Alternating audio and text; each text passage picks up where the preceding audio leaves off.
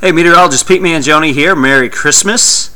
Let's talk about some Christmas weather. Well, things relatively quiet on Christmas Day. Temperatures will be rising into the upper 30s to around 40 degrees. We'll have a breeze out of the northwest at around 5 to 15 miles an hour, so not too bad if maybe you're heading over to your friend's house, your relative's house, your family's house for some Christmas dinner, maybe throwing the ball around at noon, the football around.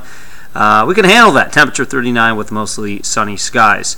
So, let's talk about some travel briefly. Uh, maybe you're one of those people that you know is flying on Christmas Day. I know there's some discounts out there for people that do that. Maybe you have someone flying in early Christmas morning. Actually, most of the country is looking pretty good. Obviously, our road conditions should be in pretty good shape. Uh, from Providence down to uh, Richmond and Pittsburgh on Christmas Day afternoon. Uh, notice some snow out there towards Salt Lake City could create a few delays.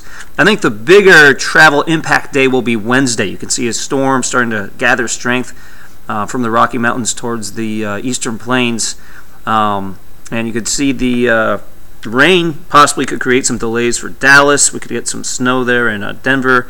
And um, the northern plains up there through the Dakotas could also um, have some uh, flight delays because of snow. Um, there also maybe some delays up in the northwest from uh, Seattle to Portland. It's been a very stormy time up there in the, the, northwest. They've just been getting storm after storm, and we could get a little bit of rain or snow out there in the northwest, creating some flight delays there on Wednesday. Again, this would be the day after Christmas if you have a flight then. We fast forward now to Sunday.